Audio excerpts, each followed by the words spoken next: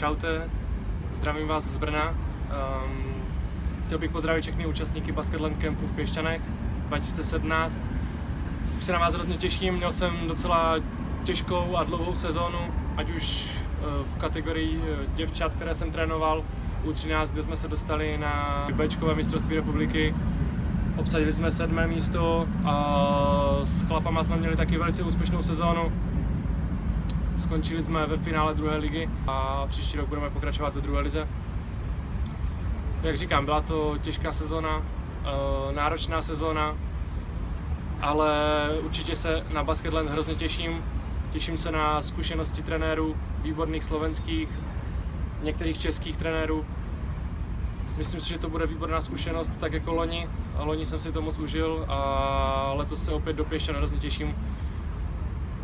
Basketland je pro mě, i když jsem tam po druhé, tak je to srdeční záležitost. Mám rád Pěšťany, líbí se mi uh, to zázemí to celého klubu. Mám rád lidi, kteří dělají okolo Basketlandu první a poslední. Takže, takže se fakt velmi těším.